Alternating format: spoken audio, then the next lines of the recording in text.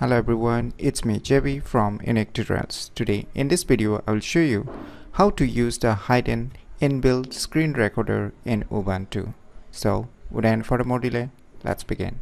So you might be thinking that the hidden inbuilt screen recorder, how it is.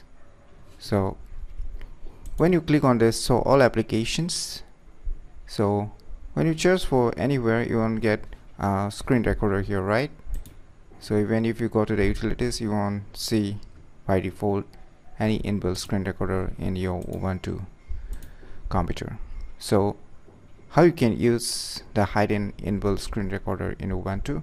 So for this there is a simple tricks. So on your computer keyboard you need to press Ctrl Alt Shift and R. So you can see our orange icon or a red icon in some cases you can see it's recording right now. It's recording my computer right now. But sadly that one thing by default it will just record it for minimum for 30 seconds. You will see after a few seconds it will just stop automatically. So let us just perform some work and we'll see after a few seconds it will just turn off automatically. So you can see the orange dot icon or the red dot icon is gone. That means it automatically gets stopped within a few seconds most probably like uh, after 30 seconds by default. So there is a solutions for it. So what you can do uh, just open a terminal and you need to type this command you need to type this command as you can see here. I'll be providing this instructions in a text format so you can check it out in the video descriptions. I'll be providing this instruction in the video description so you can download that tiny file and you can just directly copy and paste. So here are some instructions here. You can just replace the last number return 60 it is by default 60 right?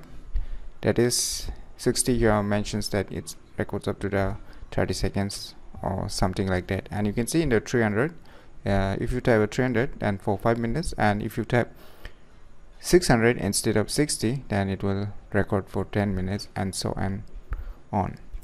So and there is one more. If you set the value to 0 there will be no time limit.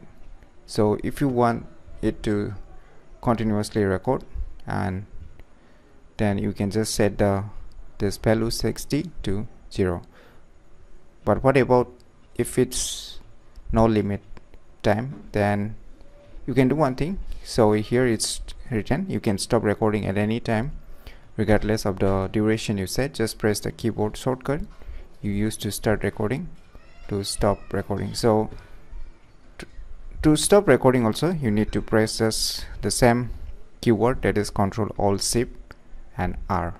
So you need to press the same command that you use to start this inbuilt screen recorder to stop the recordings.